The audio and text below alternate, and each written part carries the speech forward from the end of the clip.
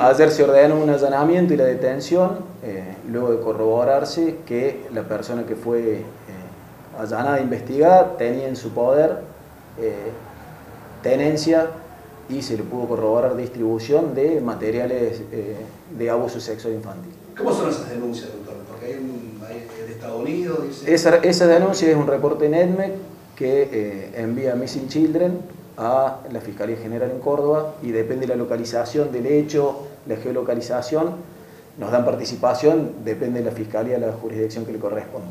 ¿Tiene que participar por ahí personal específico, como por ejemplo de ciberdelito? Eh, la perso el personal de ciberdelito de la DIO es la persona, el personal que interviene en esto. En Hoy tuvo un caso similar en el Morteo y le pregunto si son similares con el caso de Brickman y, ahora el de Baniani, ¿no? Eh, hemos tenido recientemente, se ordenó un allanamiento y detención de, de, una persona oriunda de aquí de Morteros por el mismo hecho. No están vinculados aparentemente entre sí, pero sí es el, el, mismo delito. Tenencia y distribución de, de, de mayores de edad. Sí. ¿De qué edad? ¿Mayores de cuánto? Eh, personas de 20 años, de 40 años. Bien. Y el primer caso era un menor.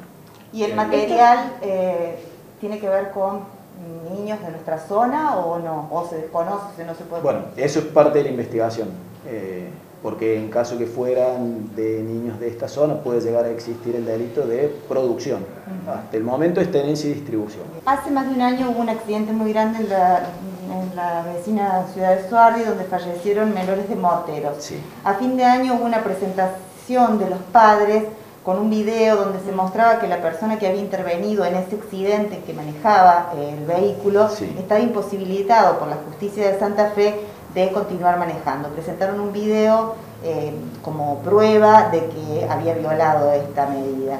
Eh, ¿Se ha avanzado en esa causa?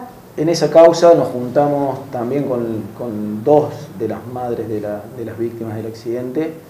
Me hicieron referencia de, de ese medio de prueba que, que, aportaron y ese video que ellos aportaron fue remitido a Córdoba, a los equipos técnicos especializados, para que nos digan si realmente es quien manejaba, si se encontraba en la posición de manejo como acompañante, bueno, estamos a la espera de ese informe, es lo que le trasladé a, la, a las mujeres.